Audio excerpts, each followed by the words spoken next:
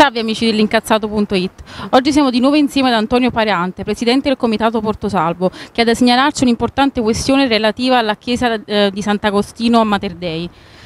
Signor Pareante, che cosa sta succedendo?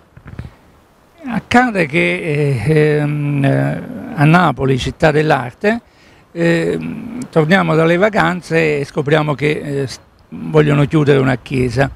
Apparentemente sarebbe una cosa che non interessa a nessuno, non è così, se appunto diciamo che Napoli è una città dell'arte, in quanto tale, insomma, se perde una chiesa ci dobbiamo chiedere per chi e cosa sta accadendo. Bene, allora noi del Comitato di Porto Salvo, che da sempre ci occupiamo delle chiese di Napoli, che sono una risorsa straordinaria della nostra città, eh, siamo subito intervenuti per cercare di capire che cosa stesse accadendo. E accade praticamente che c'è un prelato molto anziano, eh, che ha più di 90 anni, padre Celestino, che va via per, per ovvi motivi di limiti di età. E questo sembrerebbe il motivo che indurrebbe l'amministrazione ecclesiastica, quindi la curia, a chiudere la chiesa, insomma, eh, e via, insomma non ci sarebbero soluzioni. Ci sembra una situazione un po' assurda, paradossale, si fa tanto parlare delle chiese di Napoli che si debbono riaprire, insomma di tanti progetti eh, per il centro storico e poi scopriamo invece che eh, addirittura si voglia una,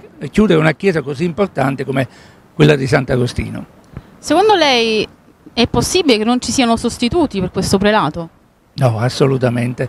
È impensabile che non esistano eh, prelati e quindi sacerdoti sufficienti per aprire eh, per lasciare aperta la chiesa di Sant'Agostino e soprattutto per riaprire le chiese eh, che sono sbarrate eh, a Napoli, che sono oltre 200. Quindi c'è una contraddizione anche in questo, non è possibile che un numero, con un numero così grande di chiese, 500 e passa, che supera quella di Roma, abbiamo quasi la metà delle chiese eh, chiuse abbandonate e, e, non abbiamo poi eh, un, un, sufficiente numero di, di sacerdoti che possa eh, eh intervenire eh, in questo problema. Mm, qualcosa non torna con i numeri.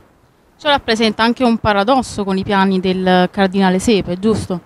Sì, è una contraddizione grande. Mm, eh, Sua Eminenza si era impegnato, abbiamo letto sui giornali per un lungo tempo, eh, appunto le sue intenzioni, il suo progetto di intervenire direttamente affinché insomma, eh, queste chiese di Napoli eh, potessero riaprire eh, mediante un, un, progetto di comodato d'uso e alla fine insomma, eh, sembra che nulla accade e peggio ancora si sente parlare di una chiesa che deve chiudere, mm, nemmeno questo quadra. Quindi si teme un nuovo caso Girolamini?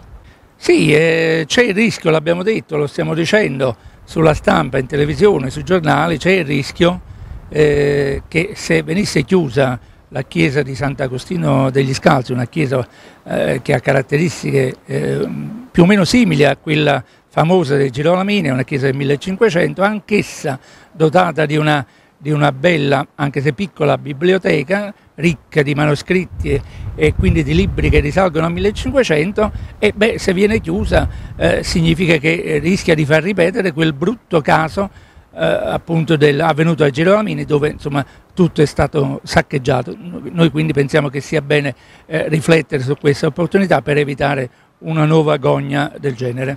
Quindi infine vuole appellarsi alle istituzioni? Assolutamente, lo stiamo già facendo, abbiamo chiesto alla Curia, alla, alle sovrintendenze, quella del Polo Museale, quindi quella di Palazzo Reale, di, di, di intervenire sulla questione per redimere questa problematica perché eh, certamente insomma, eh, si potrà trovare un, un, sacerdote per garantire l'apertura della Chiesa, diversamente ci sarà la possibilità insomma, di eh, mantenerla aperta magari affidandola a un'associazione, perché la finalità ovviamente non può e non deve essere solo quella liturgica perché le chiese in quanto tali da sempre, dice la storia, eh, condividono il territorio anche per attività di assistenza e di socialità e questo può essere sicuramente un motivo giusto da considerare per lasciare aperta Sant'Agostino. Grazie mille. Grazie a voi.